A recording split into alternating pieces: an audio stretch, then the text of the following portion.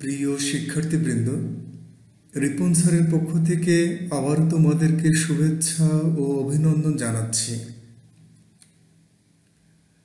উচ্চ মাধ্যমিক পরীক্ষার্থীদের জন্য আজকের ক্লাসের বিষয় রয়েছে এ ধ্বনির উচ্চারণের পাঁচটি নিয়ম। আমরা সহজ শব্দ ব্যবহার করে এই প্রশ্নটির উত্তর দেওয়ার চেষ্টা করেছি। এ ধ্বনির উচ্চারণ দুই ধরনের হয়ে থাকে। একটি হচ্ছে সংবৃত আরেকটি হচ্ছে বিবৃত।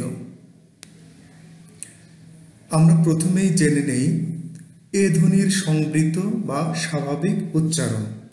প্রিয় শিক্ষার্থী, আমরা বলেছি যে এ ধ্বনির যদি স্বাভাবিক উচ্চারণ হয়, সেটি হবে সংবৃত আর এ ধ্বনির উচ্চারণ যদি এ হয়ে যায়, তাহলে সেটি হবে বিবৃত।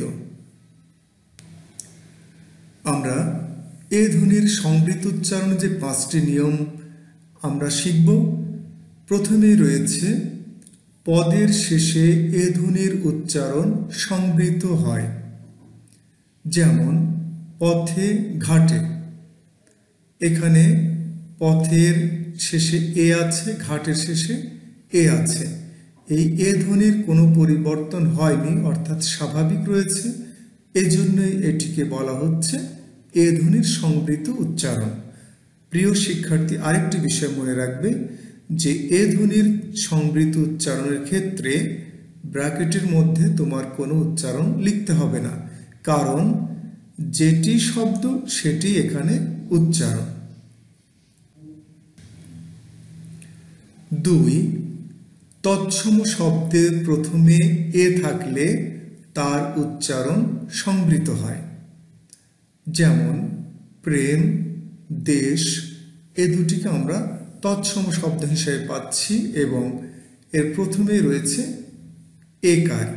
সেজন্য এ কারের অর্থাৎ এর উচ্চারণ সংবৃত বা স্বাভাবিক রয়েছে। তিন একাক্ষর সর্বনাম পদের এ সংবৃত উচ্চারণ হয়।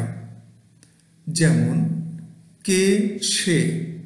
এই কে, সে এ দুটি হচ্ছে সর্বনাম পদ। আর একাক্ষর বলতে যদি নিঃশ্বাসের একবারে উচ্চারিত হয়, সেটি হচ্ছে একাক্ষর সর্বনাম। তাহলে কে এবং সে এই দুটি একাক্ষর সর্বনামের সাথে কি রয়েছে? এ রয়েছে এবং এর উচ্চারণ স্বাভাবিক রয়েছে এখানে। চার, হয়ের পূর্বে এ ধ্বনির উচ্চারণ সংবৃত হয়, যেমন দেহ, কেহ। এখন আমরা দেখতে পাচ্ছি যে দুটি শব্দে হ রয়েছে এবং এর পূর্বে রয়েছে এ। সেজন্য এর উচ্চারণ এখানে স্বাভাবিক বা সংবৃত হবে। এরপরে পাঁচ নম্বরে আমরা দেখতে পাচ্ছি যে রস্যই বা রস্যকারের পূর্বে এ ধ্বনির উচ্চারণ সংবৃত হয়। তাহলে কি হবে? যে এ ধ্বনি থাকবে কার পূর্বে? রস্যইকার এবং রস্যকার। এখানে আমরা দুটি শব্দ দিয়েছি, দেখি এবং রেণু। এই দেখি এবং রেণুর শেষে রস্যিকার এবং রস্যকার রয়েছে এবং তার আগে রয়েছে এ। অর্থাৎ এই এর উচ্চারণ হবে সংবৃত বা স্বাভাবিক। প্রিয় শিক্ষার্থী, আমরা এ ধ্বনির সংবৃত বা স্বাভাবিক উচ্চারণের পাঁচটি নিয়ম জানতে পারলাম। এবারে আমরা দেখব এ ধ্বনির বিবৃত উচ্চারণের পাঁচটি নিয়ম।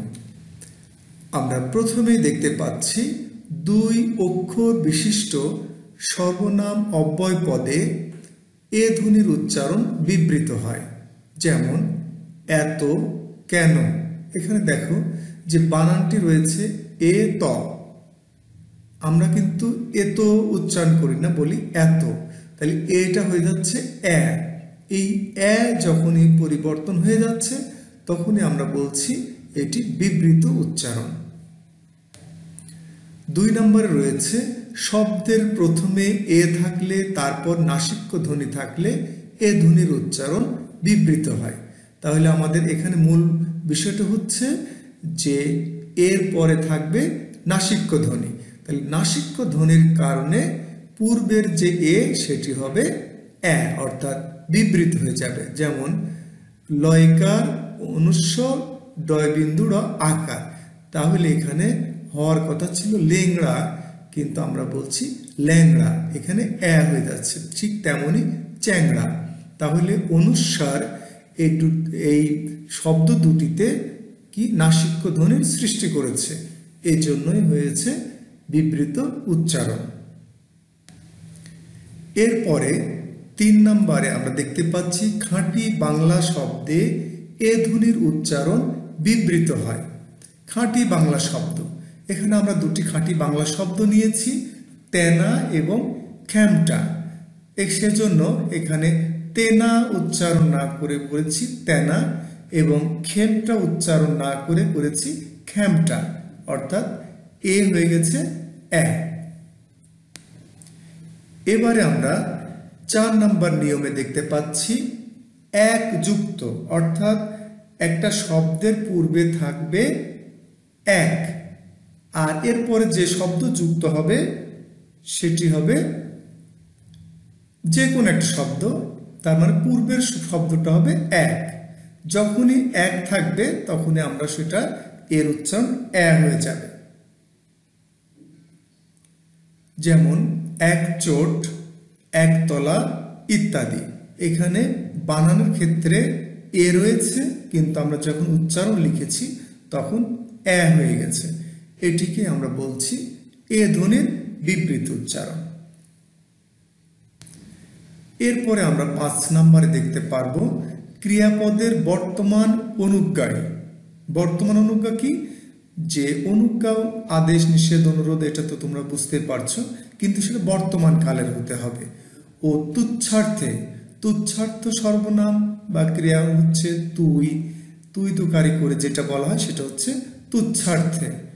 ও মধ্যম পুরুষের রূপে, অর্থাৎ যেটিকে আমরা তুমি করে বলি, তাহলে এক কথা হচ্ছে আদেশ করতে হবে এখানে, তারপরে তুচ্ছ অর্থ হবে এবং তুমি বলে যে শব্দগুলি আমরা উচ্চারণ করব, সেগুলিতে আসলে মূলত এটা হয়ে যাবে এ অর্থাৎ বিবৃত হয়ে যাবে। যেমন আমরা যদি কাউকে তুই বলে উচ্চারণ মানে জিজ্ঞাসা করি, দেখ, তুই দেখ, যদি বলি, তাহলে এটা হবে তুচ্ছার্থে অনুজ্ঞা। তাহলে দেখ উচ্চারণ দেখ না হবে, দেখ।